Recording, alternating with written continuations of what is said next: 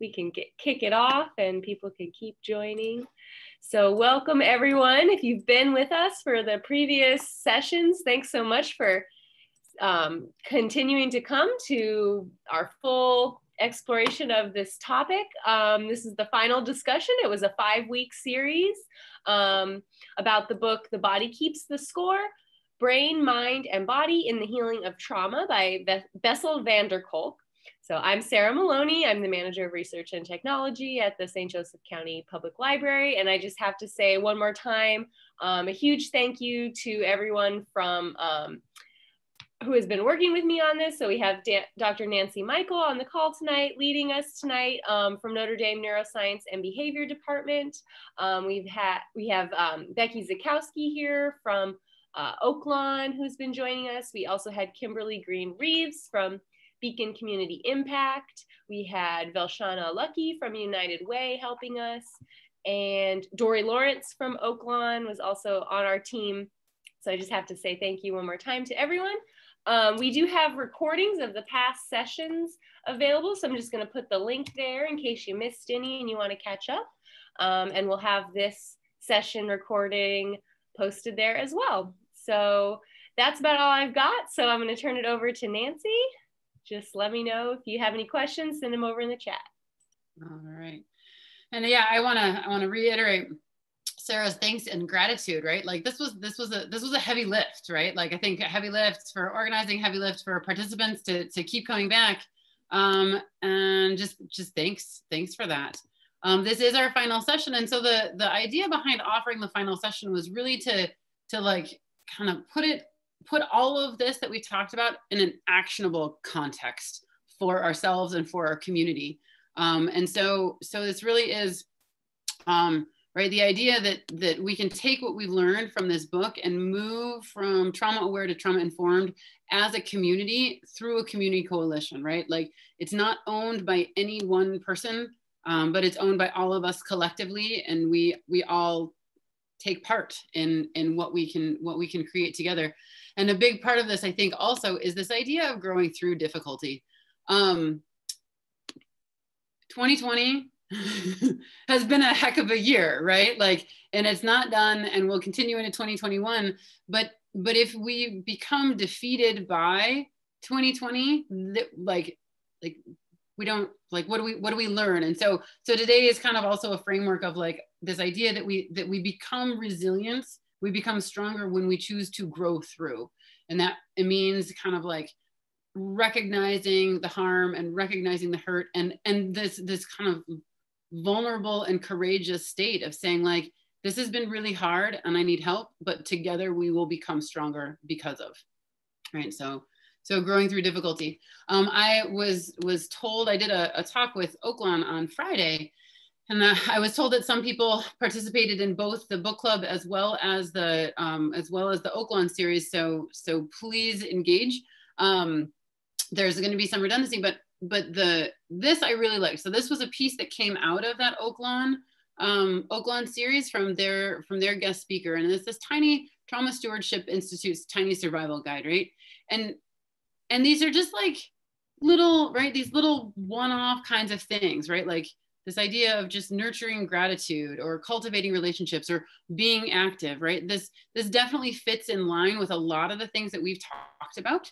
Um, just in terms of, of meeting what we have talked about as meeting species expectant experiences right? There's not a single thing on here. So my bias is declared on this right? Like my bio bias is that neuroscience can help. And so if you look if you dig deep into the data behind every single one of these rec- recommendations you're going to find some evidence from neuroscience in terms of like, if you do this, it helps keep the nervous system healthy, right? If you do this, it meets the nervous system expectation of attachment. If you do this, it meets the nervous system expectation of movement, right?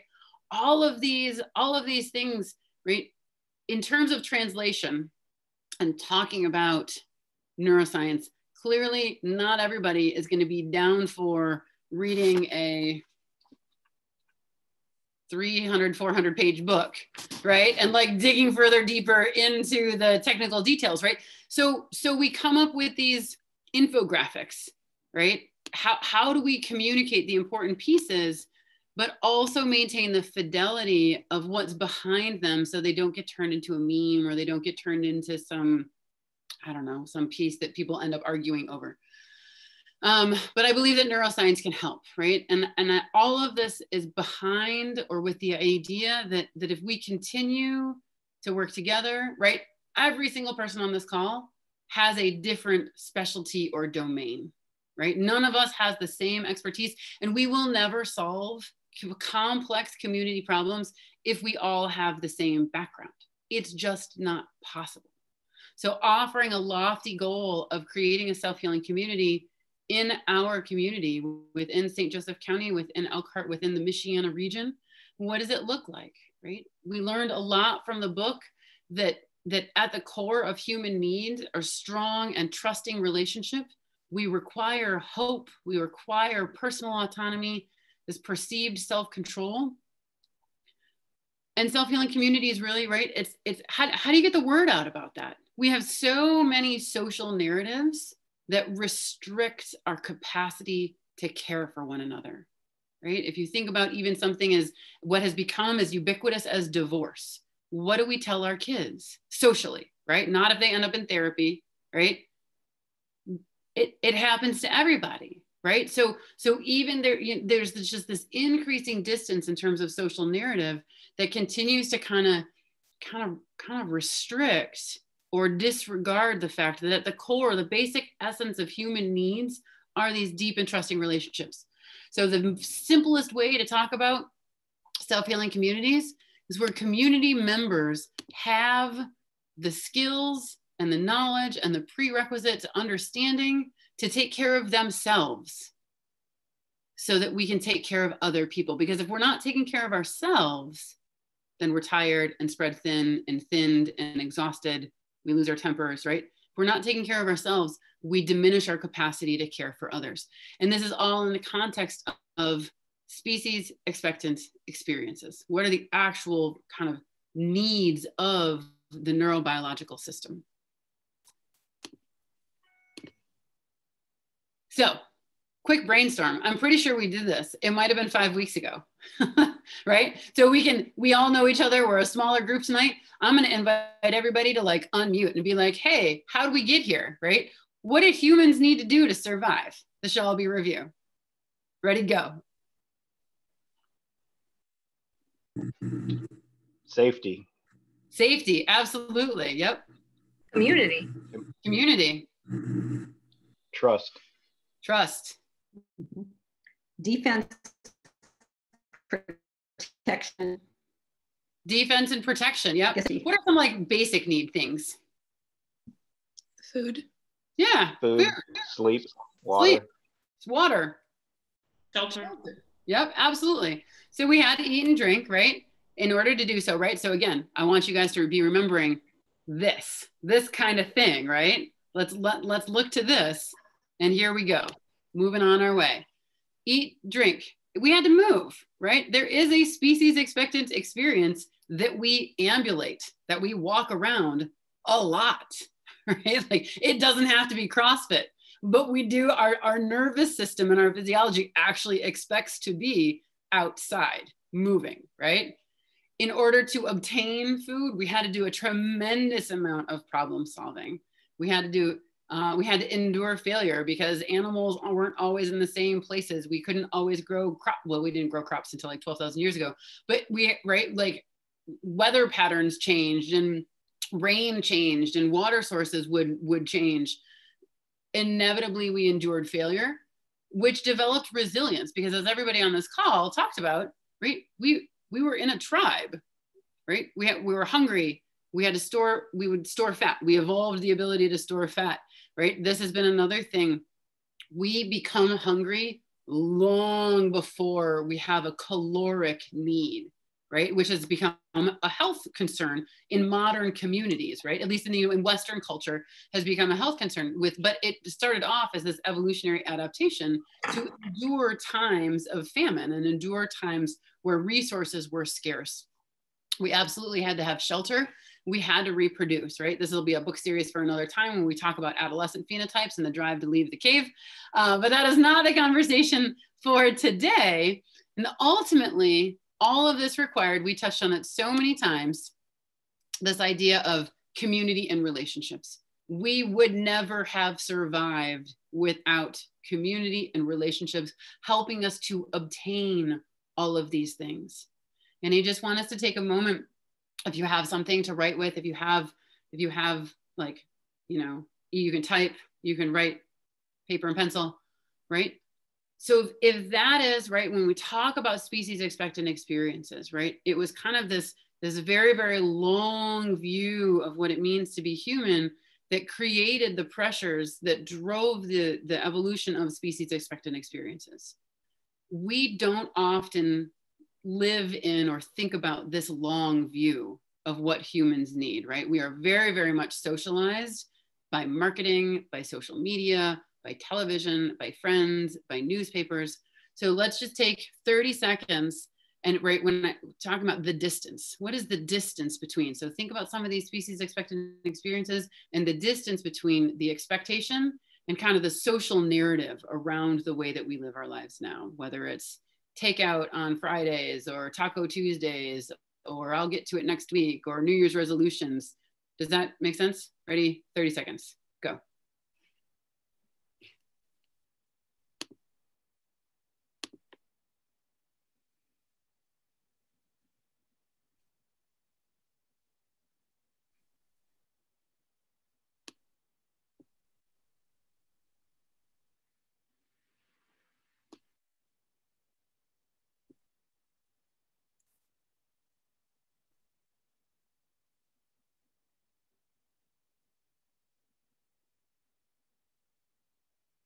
All right.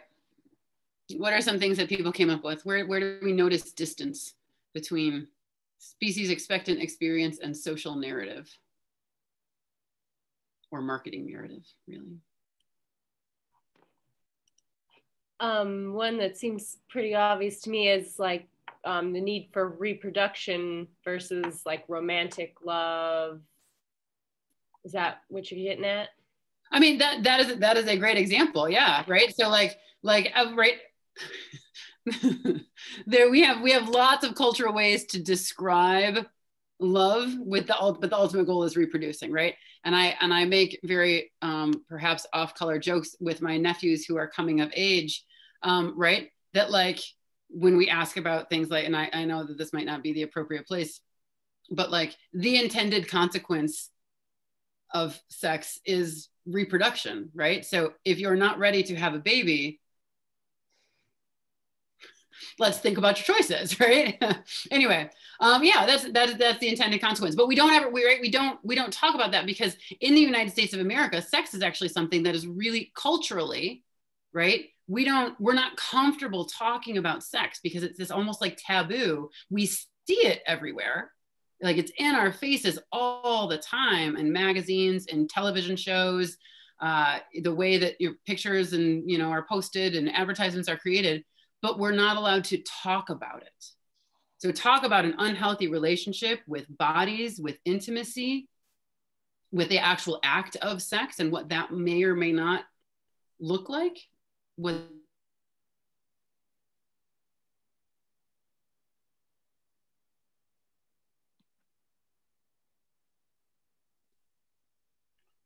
she froze up. She she doesn't want to talk about sex so much that her screen froze. it's just uh, too awkward. Yeah, let's see if she can come back in.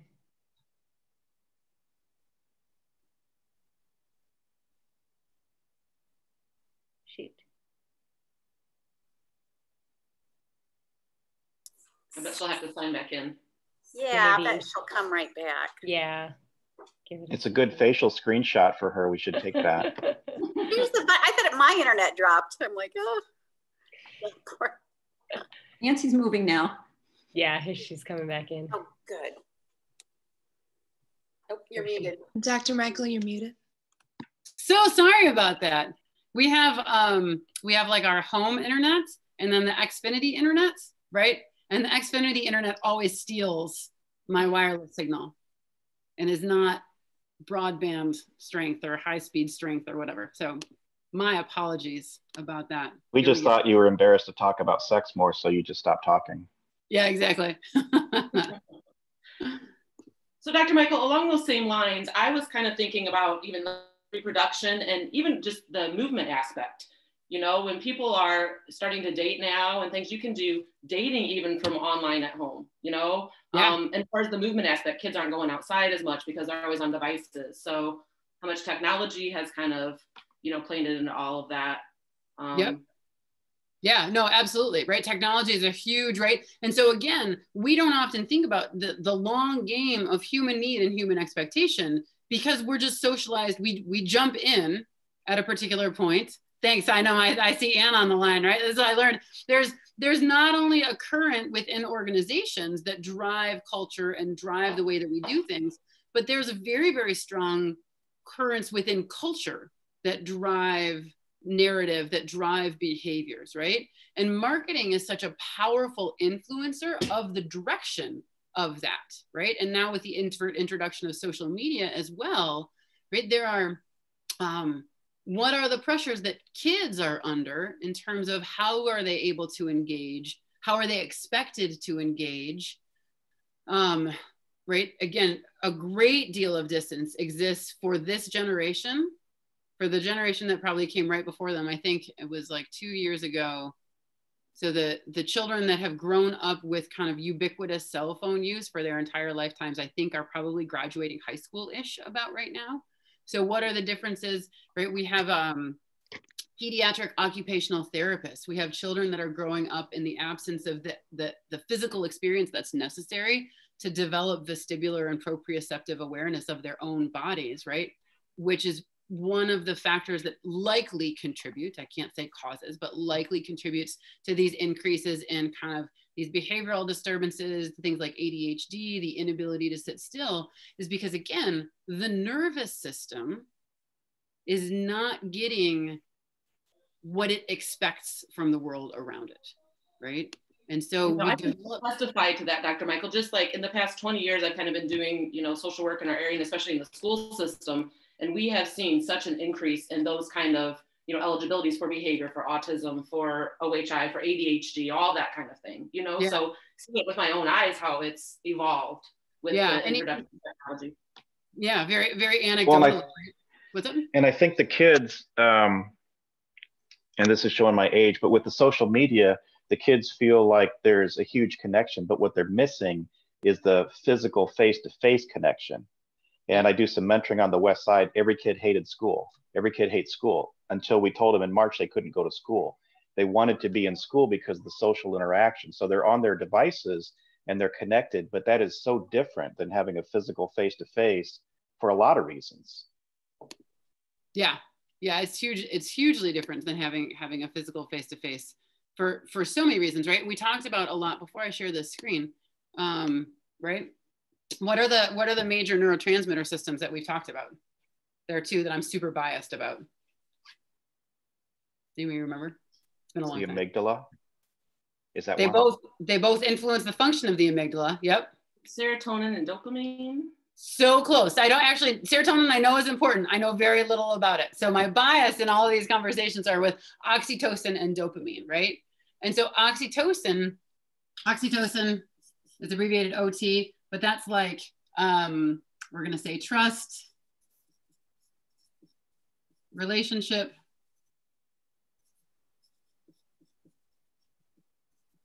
feelings of like altru- altruism, trust relationship altruism. So oxytocin gets like the popular press uh, it's the cuddle hormone right? The love hormone. And then dopamine is behavioral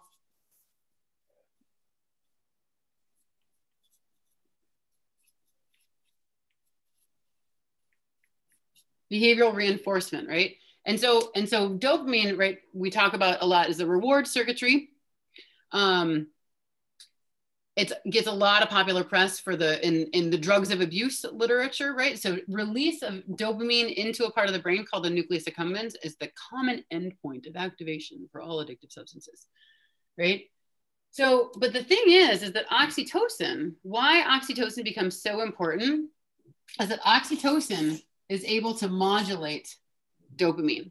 So when you have coincident activation of oxytocin and dopamine it is just about the most reinforcing stimulus and right for in terms of behavioral behavioral reinforcements that, that humans have, right? Because of the, the coincident activation of these two things. And oxytocin has a very privileged position in, in modulating the dopaminergic signal, right? So, in the absence of relationship, right, in the absence of this coincidence, all we have to go on for behavioral reinforcement is dopamine, which is when devices, when drugs of abuse, when shopping, when gambling, when all of those things, all those behaviors that can re- result in what's called a phasic release, right? This big dump of dopamine, that's when those types of behaviors become addicting because there's no normative experience to counterbalance what we would call saliency or the importance across the central nervous system. So all we have to consolidate is the dopamine signal in the absence of oxytocin. And then we get into a tremendous amount of trouble. The vulnerabilities that are introduced in the nervous system are remarkable um, in when, when we eliminate oxytocin's ability to work within the system. Um, so in terms of species expectant experiences then, right? I mean, we've talked about this a lot. So we, we know that species expectant experiences were driven by a long game of human behavior. So what are some of them? So what, so based on, based on what we, what we kind of have talked about, what are some of these expectant experiences for a developing nervous system. Let's start there. We're a small group, man. We can all be courageous and just unmute and shout stuff out. Serve and response. Yep, serve and return, absolutely. And remember, developing, serve and return, that's how we talk about it. Developed, still need it. We call it behavioral synchrony when we're grown up, right? This idea that you and I engage in coordinated and responsive dialogue, relationship, body language, right? We don't outgrow serve and return. It just looks different, but the need is still very much there no matter how old we get. What else? Imitation. Imitation. So, so like mentor, men, we'll call mentorship maybe, right? That for developing, we need somebody to, to copy. And no matter how old we get, I still need somebody who knows more, who's been in the system longer to help me figure out and navigate my way around. And I'm expected to do the same. My role is also to do the same for people that come after me. Yep. What else?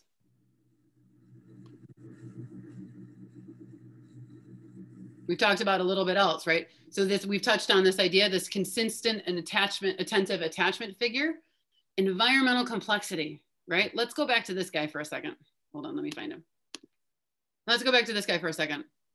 I bet species expectant experiences, protect your mornings, stress reducer, go outside, species environmental complexity, be active, environmental complexity, cultivate relationships, secure attachment, nurture gratitude, secure attachment, detox, I don't know, all of the above, right? Like, don't put drugs into your body.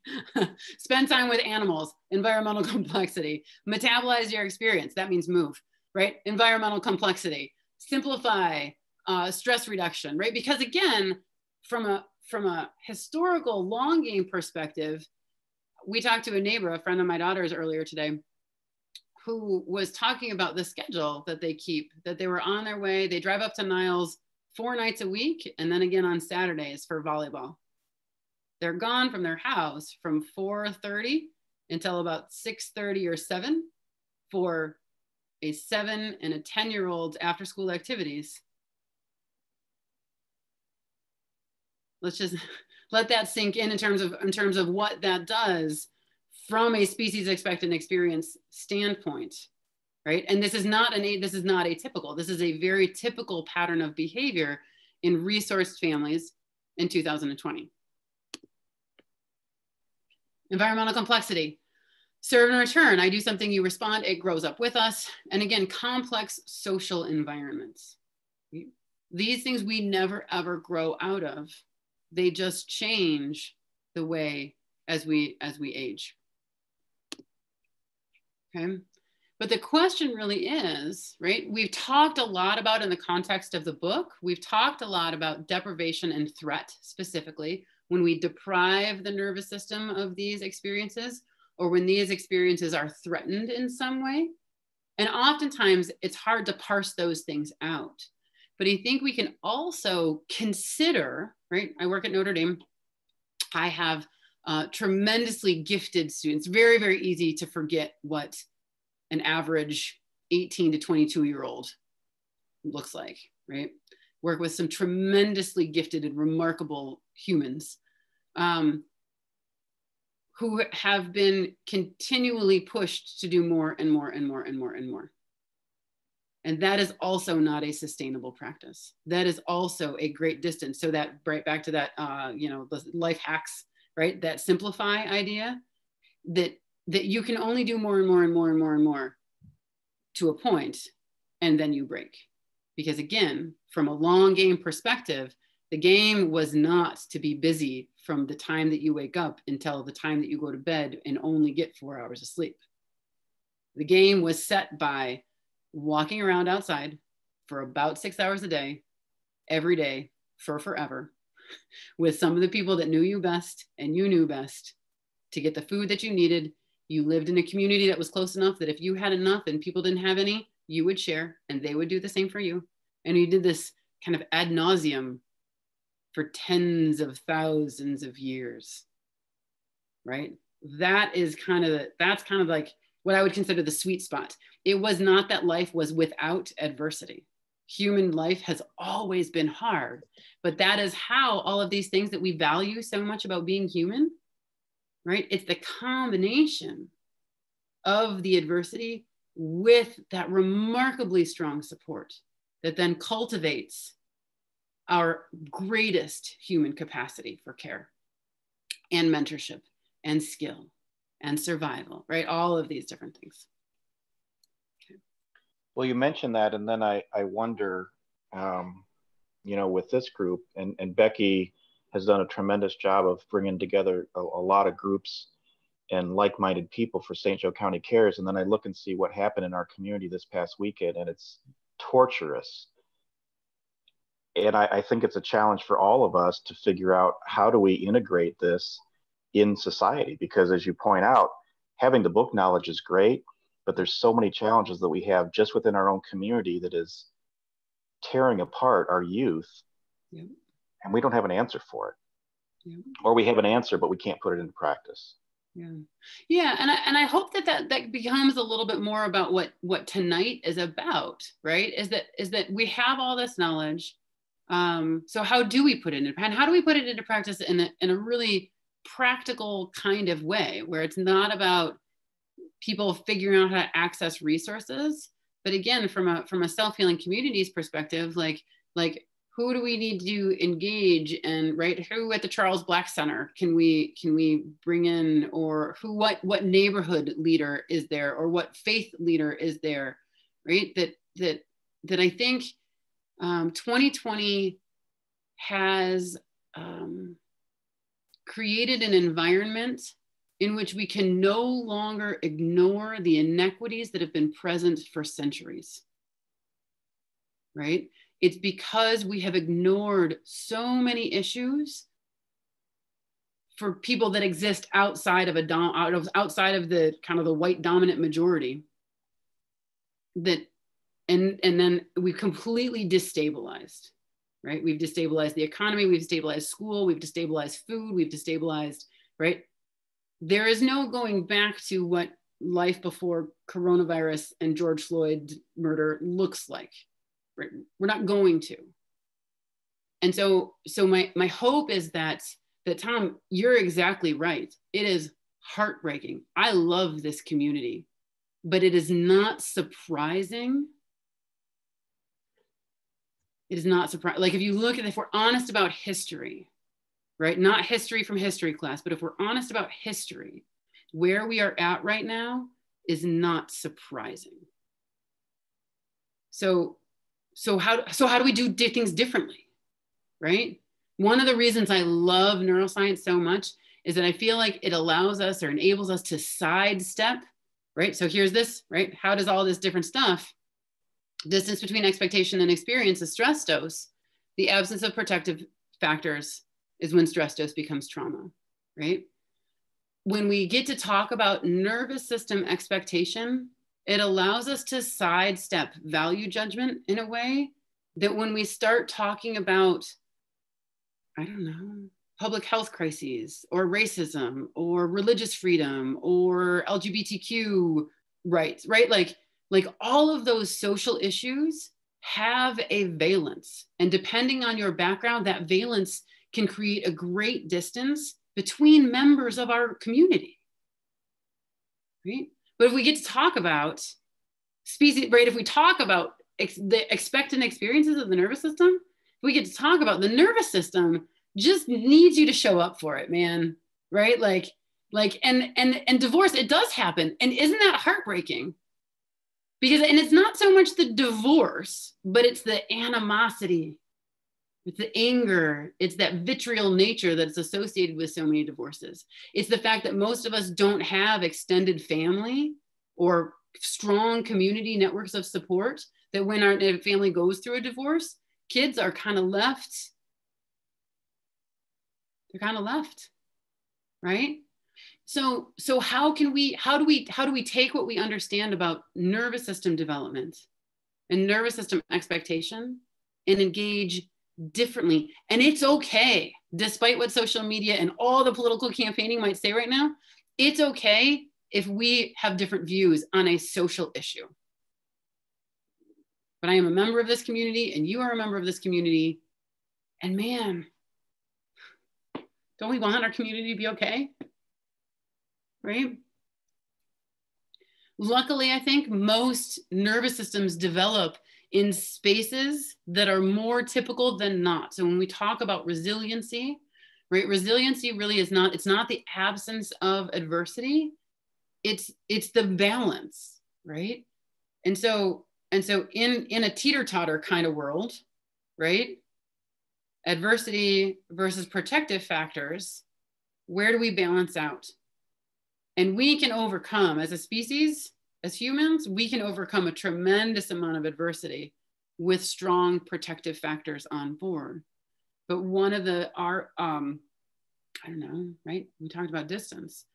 I think in 2020 has allowed us to, um, beyond any reasonable doubt, 2020 has taught us that there is too much distance between the expectant experiences and the way we're actually living, right? For generate generations, didn't used to be like this, right? I don't know what's going on with these kids. These kids are crazy, right?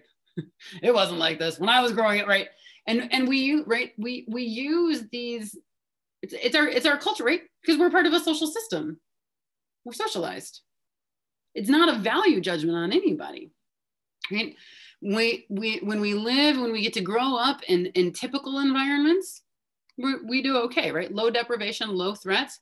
Also the suggestion of some kind of nurturing attachment figure. High deprivation high threat. Oftentimes right it's really difficult to parse these things out because they often coexist right? But again again the distance species expecting experience actual experience, protective factors or not, equals stress dose. And that's really where the ACEs study comes in. How many people, I know that there are a couple people without their cameras on. How many people have heard ACEs study? Nodding, a couple, okay. ACEs study, right, was a really seminal study published in 1989 looking at, so there was this guy, Dr. Anda um, and uh, Vincent Felitti, uh, one, Anda was at CDC, Felitti was at Kaiser Permanente Healthcare System in Southern California, right? And so they were, one studied, studied smoking cessation, the other studied obesity. And they met at a conference and they're like, man, we're giving our patients all kind of data and they're still smoking and they're not losing weight. What's going on, right? So talk about the courage to look at things differently, right? The medical community, the scientific community is very curmudgeony. I'm allowed to say it because I was raised in there right? We don't like feelings. We don't like to touch people, right? We're not going to give you a hug. If you don't understand science, then you're probably not smart enough to be a scientist, right? Like those are those are the those are the implicit and often explicit social narratives that you're raised around in the sciences, right? So let's talk about the courage that it took these two guys. And look, right? So power and privilege. Anda was like the head of the CDC, and Felitti was like the head of Kaiser Permanente. Okay, so like, okay, they're they're in pretty good places to be like, maybe we need to do this thing differently, right? But there were over 200 people on the Oaklawn call last Friday. I think all of those people, if all of us decided to do things differently, we are also in a remarkably strong position to do things differently and to really shift a current here and there. All right, Anda and Felitti. What if we're not asking the right questions? What if it's not as simple as understanding that smoking is bad for you or you need to exercise to lose weight? Right. So they developed, that was a 10 question survey, retrospective. Before the age of 18, did any of the, one of these things happen? Right. They looked at physical um, abuse, psychological abuse, and Becky, help me out. Physical abuse, psychological abuse, um, and then emotional. household dysfunction. Um, psychological would have been the emotional neglect piece. Um, all right, so so 10 questions. Did this happen? Yes or no? They didn't care about duration at the time, right? It was just this retrospective study, not about duration, not about intensity, not about the number of times, none of those things. Did it happen? Yes or no? And what they found was that with the greater adversity, right, stress dose before the age of 18, the likelihood of having some kind of health problem increased. And these are the kinds of health problems that they saw. So it wasn't just things like alcoholism or drug abuse or depression or anxiety, things like cancer and cardiovascular disease. Yes, alcoholism and chronic depression, but asthma, diabetes, risk for HIV, currently smoking. So the question really becomes why, right? I think we can all so why, right? We might be able to make up a reason, pretty easy reason, right? When I'm stressed, I might feel like drinking more. I was smoked when I was younger, right? I would smoke more when I was stressed. So, so we can, we can, I think we can all find examples in our own lives of why, right? Back to this, hold on, let's find it. Back to this guy.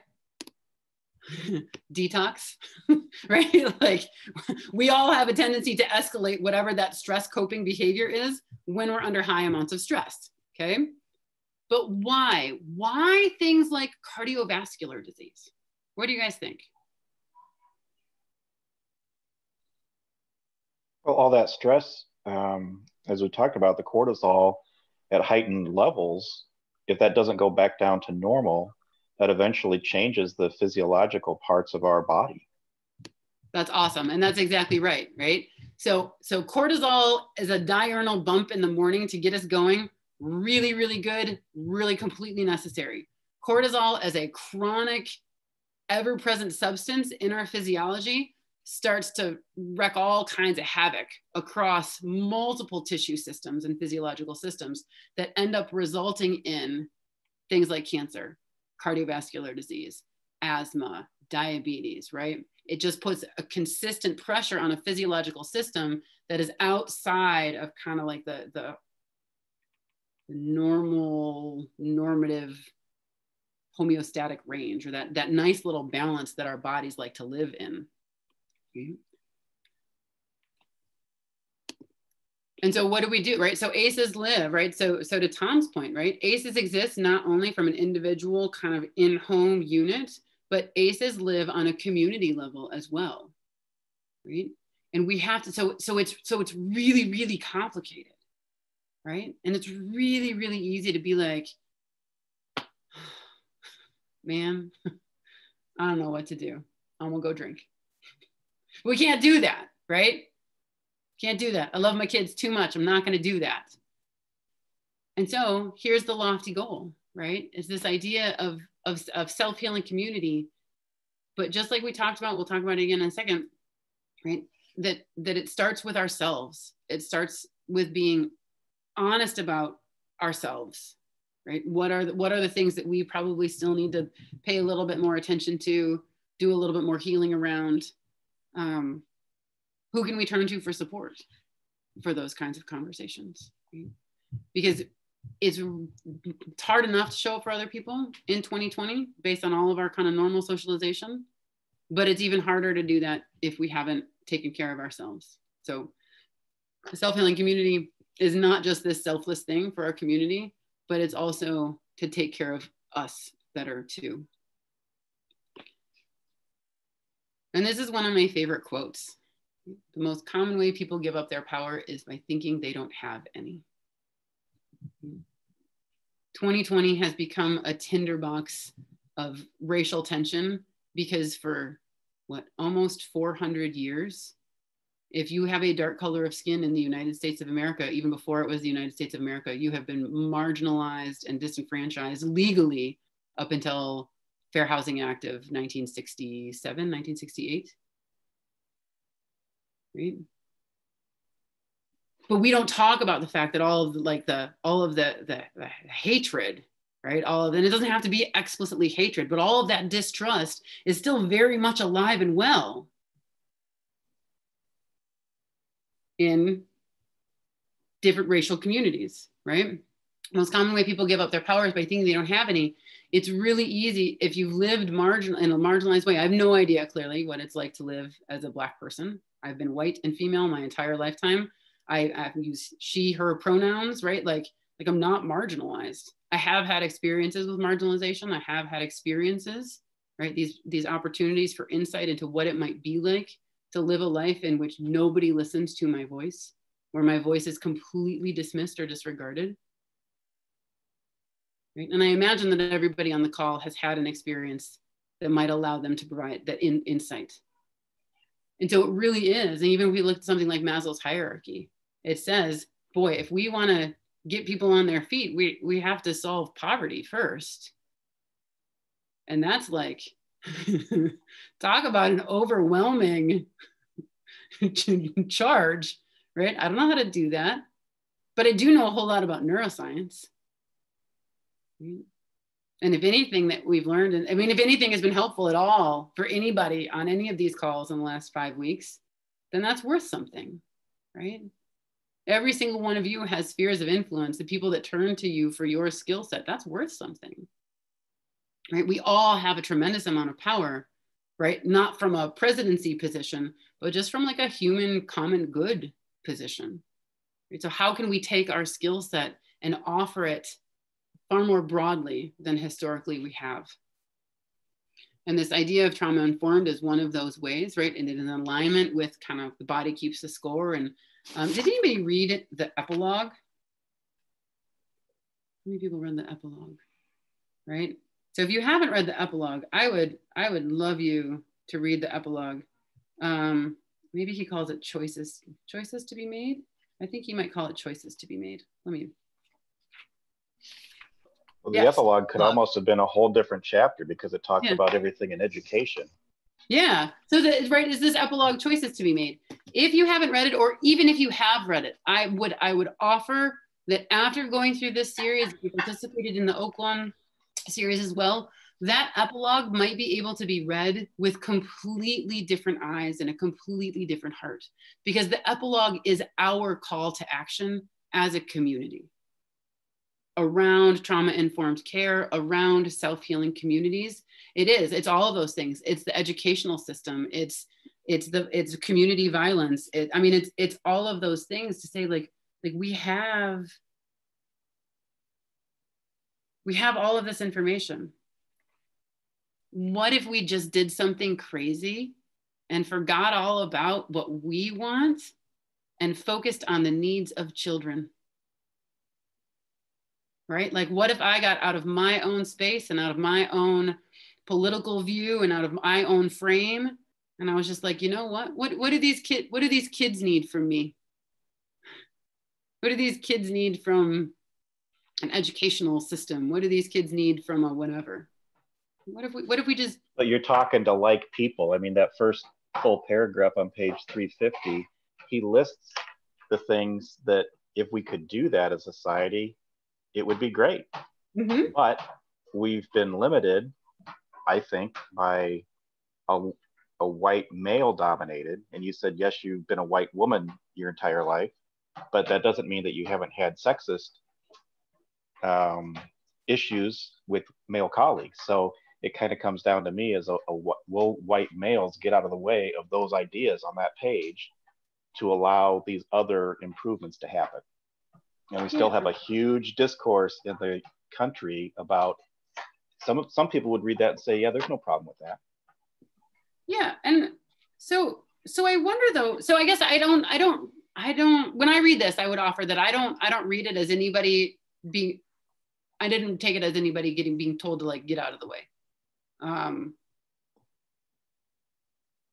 yeah, yeah. So maybe maybe we could maybe we could talk about maybe we could talk about that sometime offline, um, or, or you know not not in this particular venue because that will kind of take us like we can parking lot that and come back to it.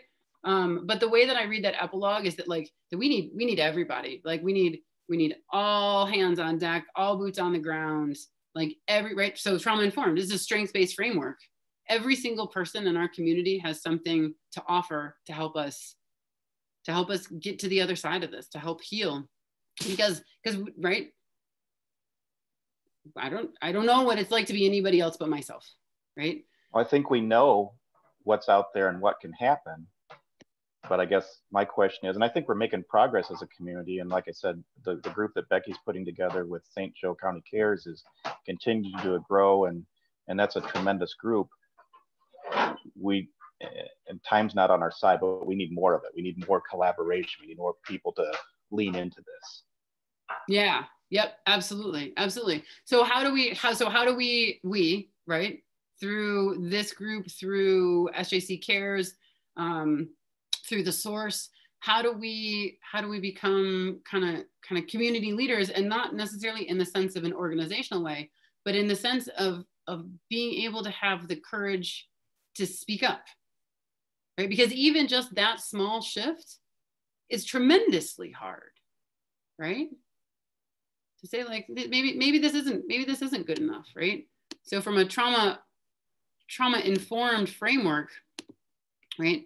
I think I think you're right. Right. One of the things that that Becky and I've talked about um, is that is that through kind of the this book series and the Oaklawn series, we we really have we've come a long way as a community i mean we really really have it might not feel like it but awareness is the first step because otherwise we don't even know that there's anything to be talking about right? I think that there is enough awareness that people are really looking for an actionable what to do next. What do we what do we do from here right? And i think tom that sounds like what what you're what you're getting to is that there's you're right we have a lot more to do right? So, so trauma sensitivity and trauma sensitivity leads to trauma responsiveness, leads to, right, when an organization is trauma informed, but a self-healing community, right, kind of works through all the steps maybe on an individual standpoint. So wanting to highlight this idea of trauma sensitive, really, I think for, for me, it's, it's about changing a heart. It's about saying like, I am the least important thing. I'm the least important factor in this conversation. I want to be able to offer my skills. I want to be able to offer my time. But in so many environments, I have no idea what the right thing to do is. I need you to tell me what your experience has been. What you know what I mean? Like, like I need somebody to tell me what to do. I need to learn a whole lot more. And then together we can figure out maybe if my like how my skills can help. But I'm also really good at filing paper. So if that's what you need me to do, I'm totally cool with that, right?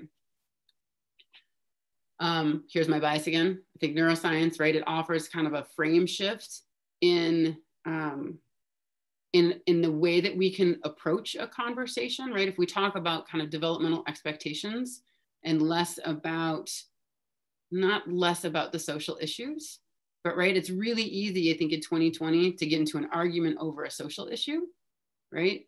But if we all care about our community and if that can be the common starting point, right? We can keep the conversation focused on, right, expectations of the nerve. Like, what do we what do we understand about physiology and and developmental neuroscience?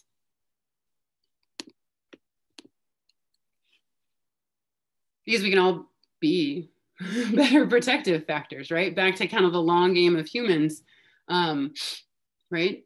Protective factors are generally people and they're generally free. Right? So so that's that's a really that's a really easy. So what do we do, Tom? I don't know what we do, but I but I but I don't want to quit on that. I want to keep asking that question. I want to ask different people that question because um, there's a lot of representation that needs to be a part of this conversation that I would be willing to place a very large bet that is not on this call nor was part of the Oaklawn series, right? You know what I mean? Like, like there are a lot of voices in the community that just, that just need need to be heard. Um, but but showing up as a human is a, is a pretty good is a pretty good free first step, I think, right? We can all be better protective factors for ourselves and for other people. And this is part of this tiny right? Like, so how can we to be better protective factor for myself? I should probably get more sleep should probably just have a permanent out of office on my email saying, I get too much email. There's no way I can respond to every single one of them. If it's actually important and I haven't responded, send me another email in a week, right? Like, so there, there are all of these things that we can do for ourselves that allow us, right? When we can de stress ourselves, we have much more bandwidth to be present for others.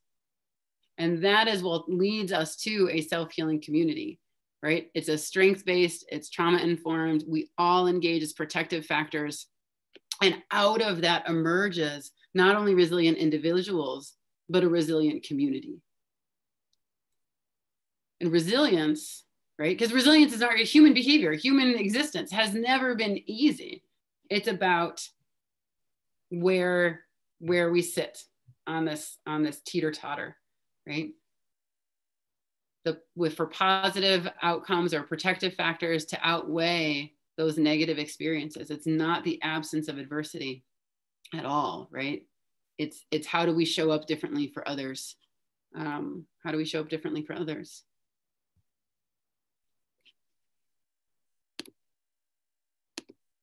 The most common way people give up their power is by thinking they don't have any. I feel so overwhelmed sometimes when i when i when I look at this, right? Because, right, psychological needs, I need to be able to food and water and pro- provide shelter for and like a good place to sleep before somebody can ever feel safe so that they can create, right, these things.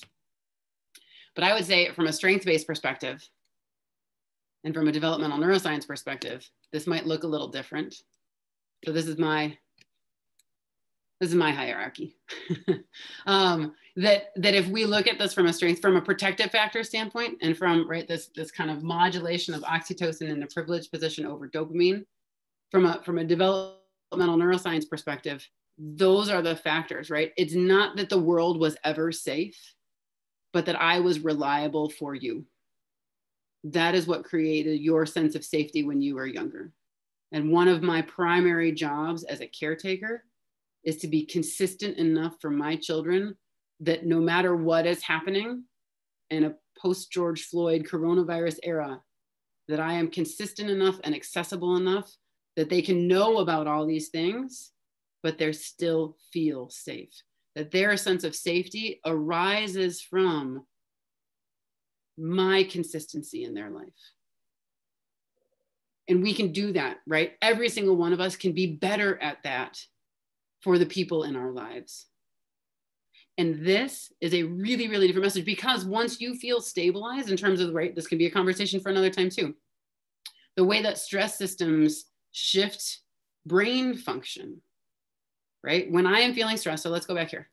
When I am feeling stressed, right? If I don't have enough food, water, if I'm tired, if I'm cold, right?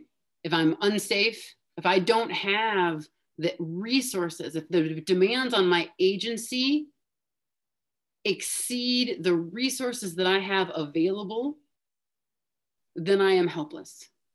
Then I am stressed. But what attachment, this neural circuitry of attachment really shows us is that safety arises from attachment, right? Internal sense of safety, internal sense of agency autonomy, right? That arises from human to human relationship, right? That my presence for you or someone else's presence for me can relieve my stress response. And when my stress response is relieved, I then cognitively have access to all of the dorsolateral prefrontal cortex area, cortical areas, right? That would allow me to participate in problem solving in my own life. And once I'm able to participate in problem solving in my own life instead of being dependent upon somebody else, right? That is where I also begin to develop my own sense of agency my own sense of autonomy, my own sense of control, my own kind of internal locus of control. And, and that, right, like that's a, for me, I offer it to you all. I'd love to hear your thoughts, tear it apart. Um, but like, but, but that is, that is a, that is, I can do something with this, right? This is, this is a, this is this is something that's that's based in in attachment circuitry and developmental neuroscience, and I can I can be a I can be a better person, right? And so when we think about communities as systems, we can we can think about right the the most common way people give out their power is by thinking they don't have any. But if my power is just me showing up, right? Like that that could that could be that could be all of our superpower, right? Us showing up differently in a courageous and vulnerable way to say like i don't have it all figured out but i care about this community and i care about you. And i want to i want to be helpful but i don't know how to do that until you tell me what you need until you tell me tell me your story. Let, let me listen. Um, that systems right this last weekend was heartbreaking. We are interacting interacting systems right if something happens in one part of the community, it's not isolated to that part of the community. It sends a ripple effect through the entire community. And again, depending on the relationship, right? Depending on the relationship you have, you might be reasonably well in reasonably well insulated from the impact. But even, right? So when we feel threatened, when we hear about something, if it's not in our immediate, how do I say this? Um,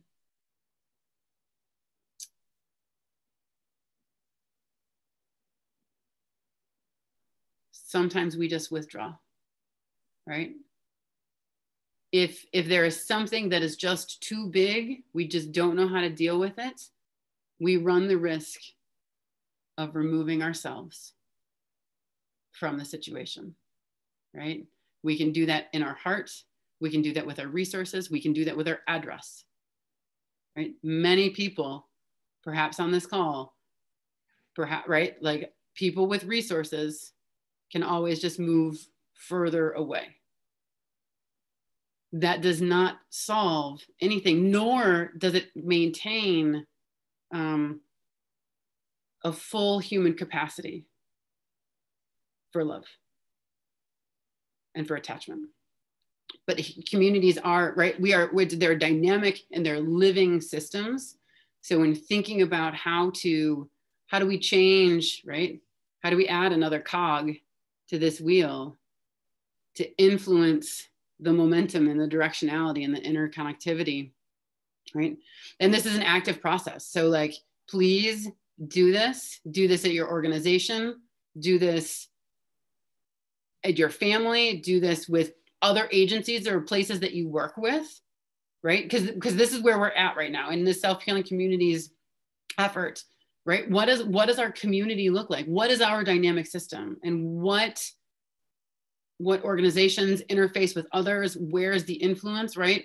The education system man they they get to interface with everybody. The public library system they right? Very few organizations or organizational structures from a community standpoint actually get to have the opportunity to engage with citizens at large right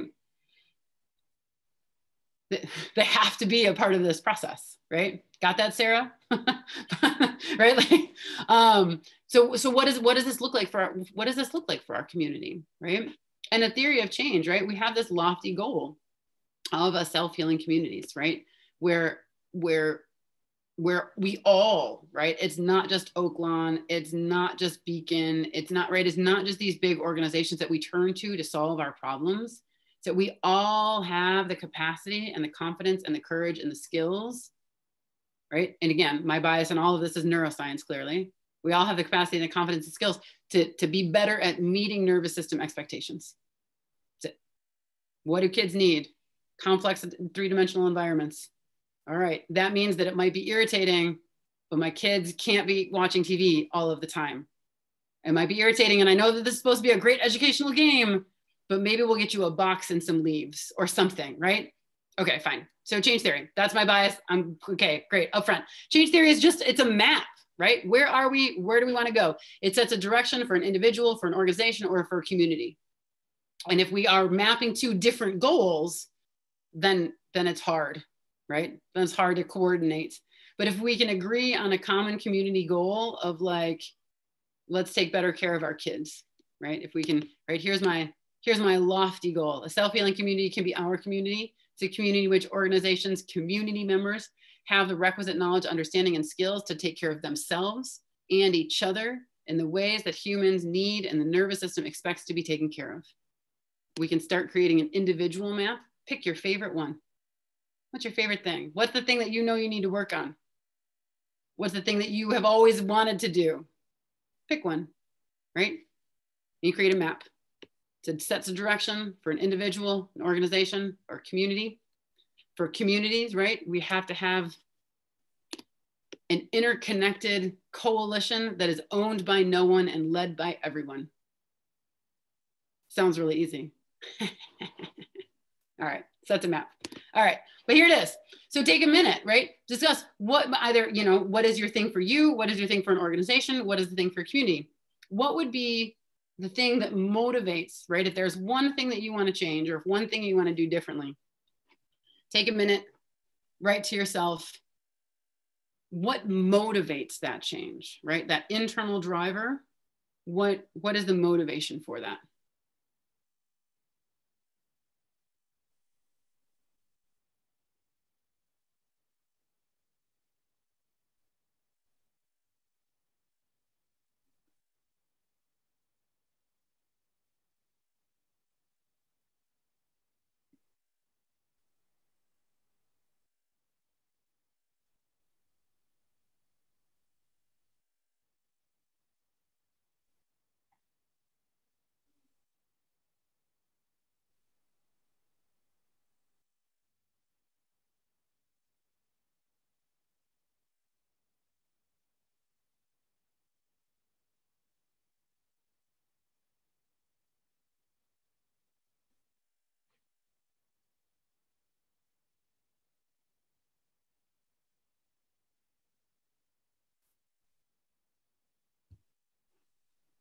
All right.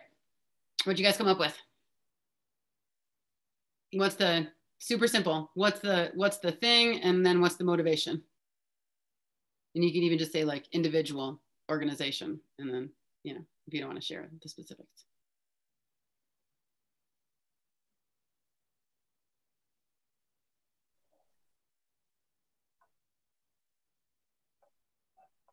I said for community, uh, I just I wrote this down when you brought this up on Friday too. Um, really having a soul to understand the fact of historical injustice and a willingness to be part of the solution. Yeah, yeah, and that's a very courageous one too. Thank you, Tom. Can you tell what motivates that one? So that's the goal, but what's the motivation behind it?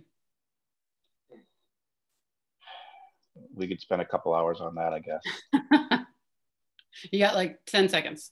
No, well, it, it, there's just too much wrong out there. We, we got to make it better. Yeah. And we can. Yeah. Well, For me, um, the motivation is stop the suffering. There's too many people out there that are suffering. Sometimes it's an individual suffering, and sometimes it's a collective one. And one of the slides you had in the slide that you talked about needs, uh, your last statement on there is uh, that one of the needs is to meet community expectations. It's sometimes, uh, I, I think of the people that get involved in violence and things like that. They become part of a community that has expectations that don't work. And they become part of that community, they sort of back into it. They aren't getting their needs met, terrible things are happening. And um, I'm struck by the Homeboys Industries. It's a national uh, program, and just the tremendous amount of work that they're doing with people who have who previously had adopted a set of community expectations they were trying to meet that were really dysfunctional. Mm-hmm. And they're helping them in really concrete ways to change their lives so that they have a mutual set of community expectations where people don't hurt people and those sorts of things. Yeah. Yeah. And I would I would offer that I in, in my my very humble and reasonably uninformed opinion, um, I think people like um, Isaac Hunt and Kenneth Lee and Deb Stanley and by the, right that we have we have a number of people in this community that do that work here as well and so mm-hmm. you know how do we how do we support that good work that's already happening that's already happening here yeah. but there's also we have to also work at the level of the community expectations so that we shape a large a, a broad community expectation that that allows everybody to buy in yep. so we don't have people that choose not to buy in yeah yeah. Like what if what if what if when i said i do this for our kids not just my kids right? Like like what what if what if that was just that was that was believed right? Because i think right i think that's why like not only history of ourselves but kind of longer longer game history is because because that's not trusted right? I have to earn that for lots of different reasons in lots of different community settings um, right i'm white i'm a notre dame professor it, right it took me it took me about six months to figure out that like notre dame can either get me a best friend or it's a real big barrier to overcome in cultivating a relationship with people in this community, with, with anybody in this community, right? And that has to do with community history. Um, yeah, and so so I think I think you're right, Mary. But cultivating trust, right? Like establishing right the consistency of showing up to say that this isn't this isn't something that I'm saying and offering, and then I'm going to take it away. Right. When, and right. bringing people to your point before of listening. What do people in the community need? and how can we shape expectations so that people can get that and live harmoniously in the process yeah yeah a really interesting maybe a next relevant reads um, i started reading a book called the strange order of things and the, the the thesis really is is that all of the everything is driven by homeostasis which i'm totally loving um, but it's it's a fast i mean it's it's so good I'll finish it over my winter uh, winter session. I'll finish it over winter session. All right. So we all have these things, right? They can be individual, they can be community, they can be organization level. And so for change theory, right? If this is the goal, then we build the map backwards, right? Because we don't know what it's going to look like. And I think like planning in these kinds of situations is a terrible idea because inevitably the plan isn't going to work because communities are dynamic living systems. And if we set a plan that's supposed to have the long game goal of 10 years from now, inevitably we're not going to be able to stick to that plan because the community is going to be different next week, right?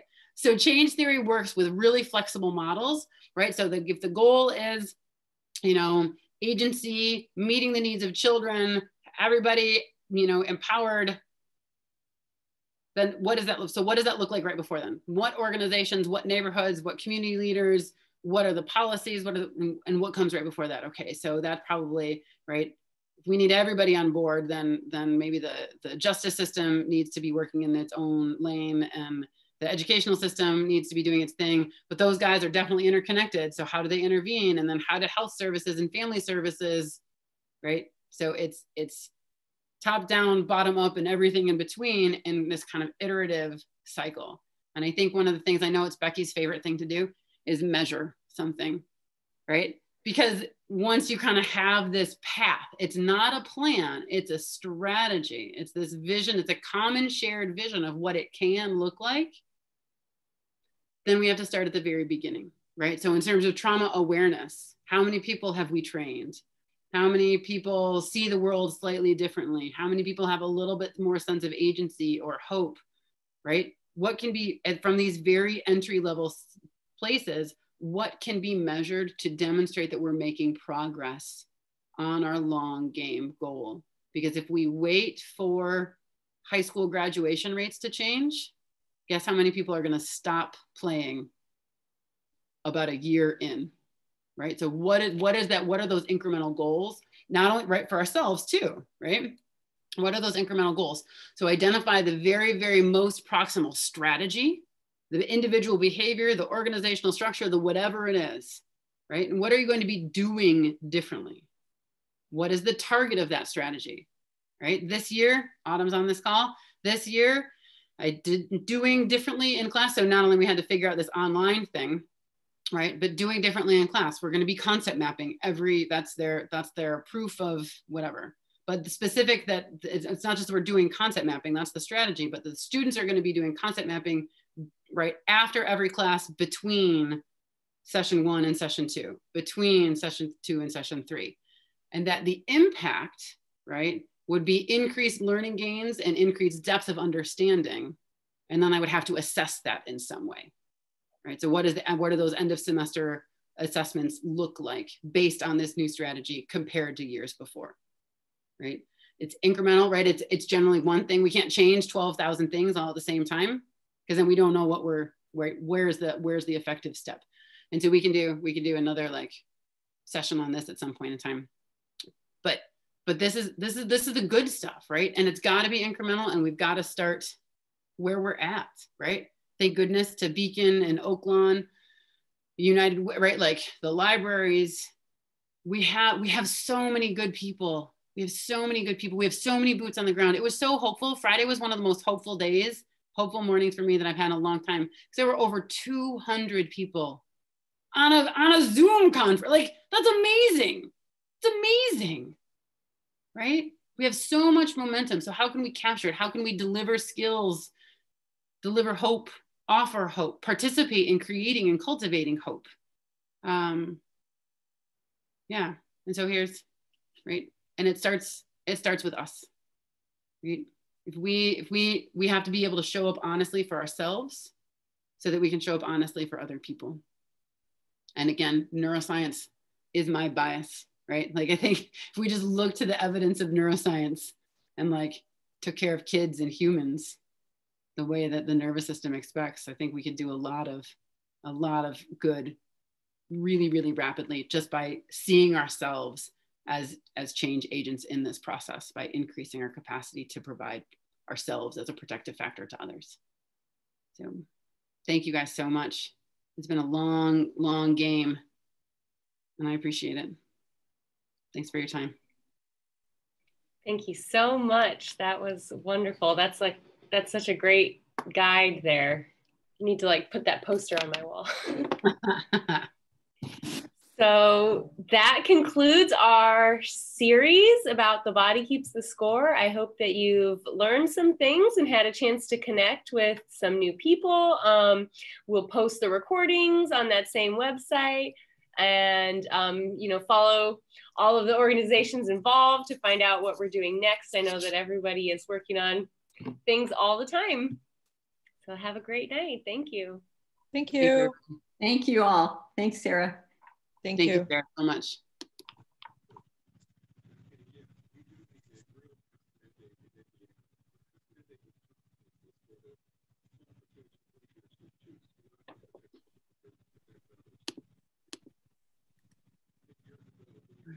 Thanks, Sarah, for organizing. Thank you. Yeah. Good. Have a good night. Awesome. Thanks. You too. Take care. You too.